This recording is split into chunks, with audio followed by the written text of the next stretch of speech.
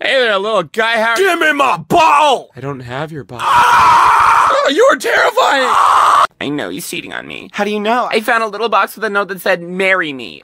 but your name's not Mary. I know it's- Hi, I'm Dora. Can you help me find my- Wow, that purple shirt looks so stupid. My self confidence. Okay, kids, order whatever you want. I want a pony. Billy, this is McDonald's. Pony! Fine, I'll get you the